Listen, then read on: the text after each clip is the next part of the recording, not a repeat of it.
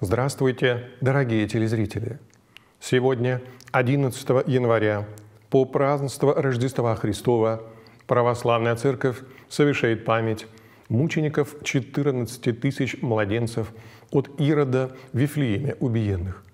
Святые мученики – 14 тысяч младенцев, убиты царем Иродом в Вифлееме.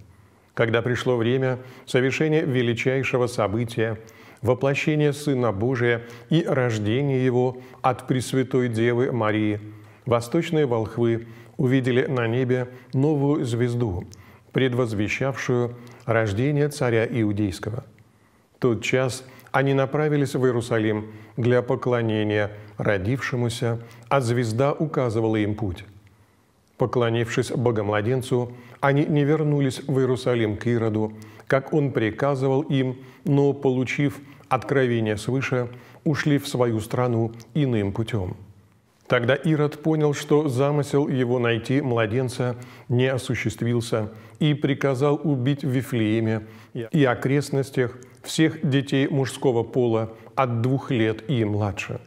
Он рассчитывал, что среди убитых детей будет и богомладенец, в котором видел соперника – Погубленные младенцы стали первыми мучениками за Христа. Гнев Ирода обрушился и на Симеона Богоприимца, который всенародно свидетельствовал в храме о родившемся Мессии. Когда святой старец скончался, Ирод не допустил, чтобы его достойно погребли. По повелению царя был убит святой пророк, священник Захария. Его умертвили в Иерусалимском храме между жертвенником и алтарем за то, что он не указал, где сын его Иоанн, будущий креститель Господа Иисуса Христа. Гнев Божий вскоре покарал самого Ирода. Его постигла лютая болезнь, и он умер заживо съеденный червями. Перед смертью нечестивый царь довершил меру своих злодеяний. Убил первосвященников и книжников иудейских – родного брата, сестру и ее мужа, свою жену Марианну и трех сыновей, а также 70 мудрейших мужей, членов Синедриона. Вифлеемские младенцы стали первыми мучениками за Христа, пролившими свою невинную кровь за Спасителя мира.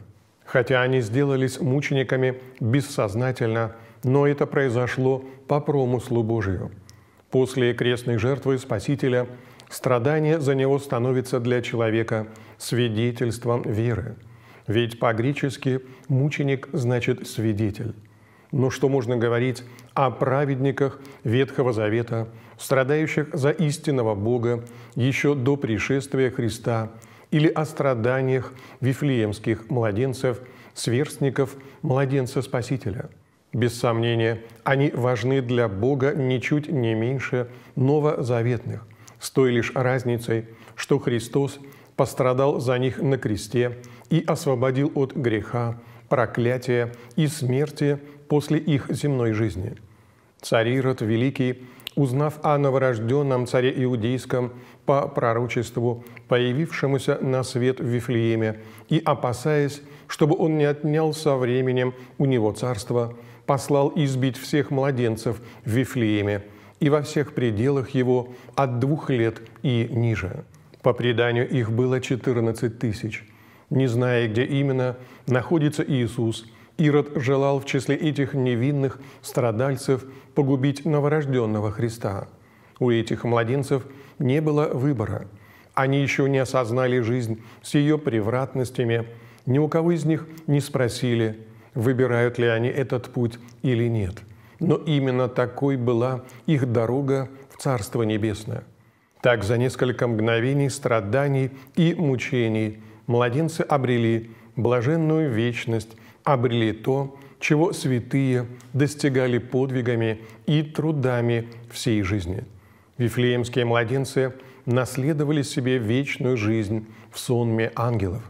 Для них страдания – были той таинственной дверью, которая привела их в Царство Небесное. Дорогие братья и сестры, сегодня также совершается память святых преподобного Маркела Апомейского, игумена обители неусыпающих, преподобного Василиска Сибирского, преподобных Марка Грубокопателя, Феофила и Иоанна Печерских в ближних пещерах, преподобного Феофила Омучского, преподобного Лаврентия Черниговского Проскуры, преподобного Фадея Студита Исповедника, священномучеников Павла Анушкина Пресвитера и Григория Смирнова Диакона, священномученика Феодосия Беленького Пресвитера, мучениц Натальи Васильевой, Натальи Силуяновой, Евдокии Гусевой, Анны Боровской, Матроны Новолокиной, Варвары Деревягиной, Анны Поповой, Евдокии Назиной, Ефросинии Денисовой, Агриппины Киселевой и Натальи Сундуковой. Всех, кто носит имена святых, прославляемых Церковью сегодня, я сердечно и тепло поздравляю с днем тизаименитства. Будьте Богом хранимы, многое вам и благая лето.